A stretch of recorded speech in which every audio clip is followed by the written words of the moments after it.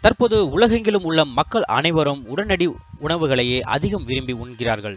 அந்த அளவிற்கு மக்கள் சோம்பேறிகளாக மாறி வருகிறார்கள். இதுதான் உலக மக்களின் தற்போதைய நிலை.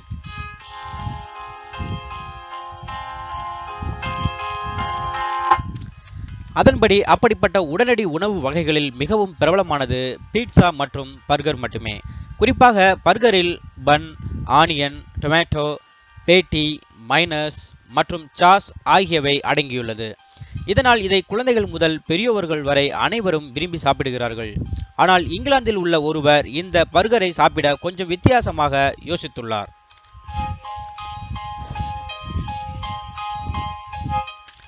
அவருடைய பெயர் தாமஸ் ஸ்டானிலேண்ட் இவருடைய வேலையே எதையாவது புதிது புதிதாக கேமராவில் பதிவு செய்து அதை இன்டர்நெட்டில் உழவ விடுவதுதான்.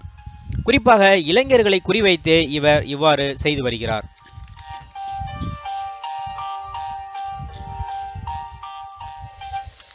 இந்நிலையில் சென்ற வாரம் இவர் செய்த காரியம் மிகவும் புதுமையானதாகும்.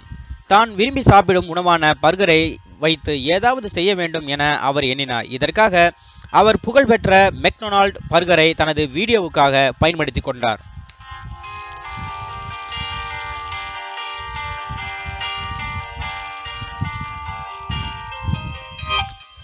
இதற்காக விசேஷமாக தயாரிக்கப்பட்ட ஒரு பெட்டியில் கோப்ரோ ரக கேமராவை வைத்து அது கீழே விழாதவாறு நன்றாக கட்டினார்.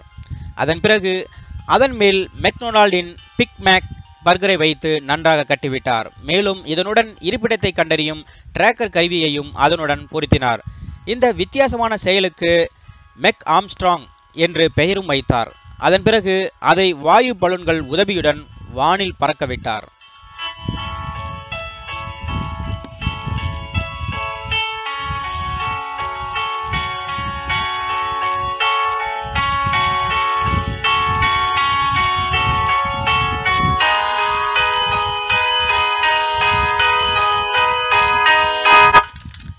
இங்கிலாந்து நாட்டின் ஷெஃபீல்ட் என்ற இடத்திலிருந்து பறக்கவிடப்பட்ட இந்த பர்கர் சுமார் நூறு கிலோமீட்டர் தூரம் வரை பறந்து சென்றது. மேலும் சுமார் எண்பதாயிரம் அடி உயரம் வரை பறந்தது. அதன் பிறகு வானத்தில் ஏற்பட்ட கடும் குளிர் மற்றும் வெயில் காரணமாக அதில் உள்ள பலூன் வெடித்து மெக் ஆம்ஸ்டாங் கீழே விழுந்தது.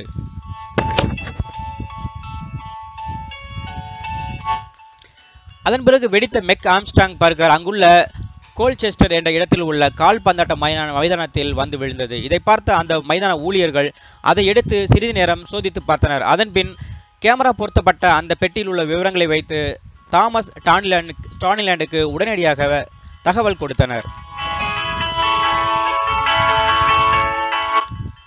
இதனால் தாமஸ் உடனடியாக அந்த கால்பந்தாட்ட மைதானத்திற்கு சென்று அவருடைய பர்கர் கேமரா மற்றும் அனைத்து சாதனங்களையும் பெற்றுக்கொண்டார். மேலும் அந்த ஊழியர்களின் நேர்மையை பாராட்டி அவர்களுக்கு சாக்லேட் மற்றும் திராட்சை ரசம் ஆகியவற்றை பரிசாக கொடுத்துவிட்டு பர்கர் பெட்டியுடன் அங்கிருந்து கிளம்பிவிட்டார் அதன் பிறகு விண்வெளிக்கு சென்று வந்த அந்த பர்கரை நன்றாக சுவைத்து சாப்பிட்டார். மேலும் இந்த நிகழ்வு சம்பந்தமான அந்த வீடியோவை இன்டர்நெட்டிலும் பதிவேற்றம் செய்தார் தாமஸ்.